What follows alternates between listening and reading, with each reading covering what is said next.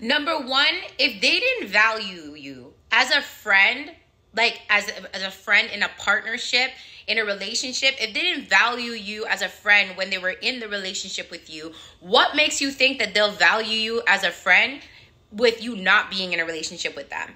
Number two, right? Them saying they just want to be friends is a door opener for them to come inside of your life and love bomb you all over again. Number three, they want the benefits of still having access to you, right? And still getting supply from you without calling it a relationship. Number four, right? At the end of the day, they literally can say that they still have a door opening to gain power and control over your mind and emotions without you even realizing it. Number five, it allows them to have their cake and eat it too. Mean that they can still have somebody that they're talking to behind your back and still talk to you and still have access to you.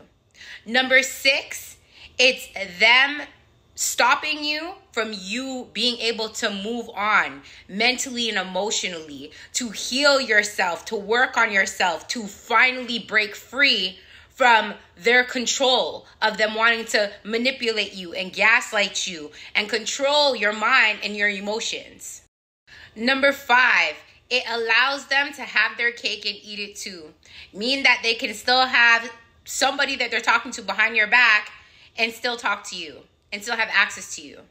Number six, it's them stopping you from you being able to move on mentally and emotionally, to heal yourself, to work on yourself, to finally break free from their control of them wanting to manipulate you and gaslight you and control your mind and your emotions. Number seven, there really is no benefit to that friendship except for them having access to you, them knowing that they can have access to you whatever they feel like it and call you friends and still have their cake and eat it too.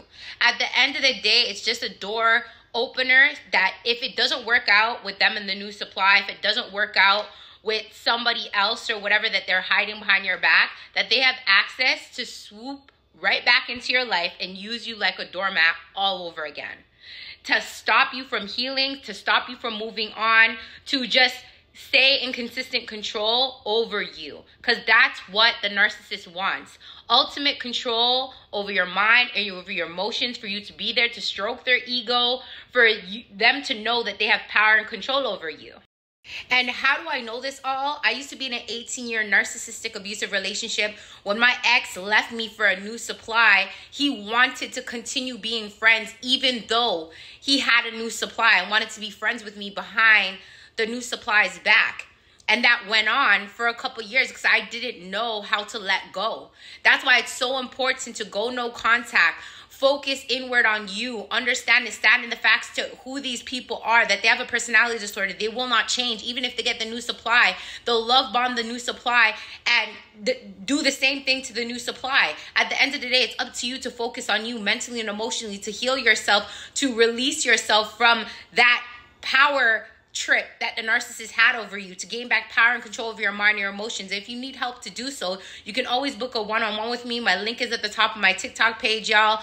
I will educate you to stand in the facts, to help you to wise up and rise up above the narcissist today, to gain back power over your mind and your emotions so that you can stand in your power and you can heal and you can move on to for the betterment of your life. Trust me, you don't need friends like the narcissist inside of your life. What you need is you to show up for you. You need you to be your best friend. You need you to to be the queen or king that you are worthy of being to stand in your power and be the best version of you today. Stand in the facts, y'all, to wise up and rise up above the narcissist today. Like I said, if y'all need help, make sure you're reaching out to book a one on one with me. Make sure you're following me on my YouTube channel, my podcast, my TikTok page, on all platforms to keep being inspired to stand in the facts, to wise up and rise up above the narcissist today.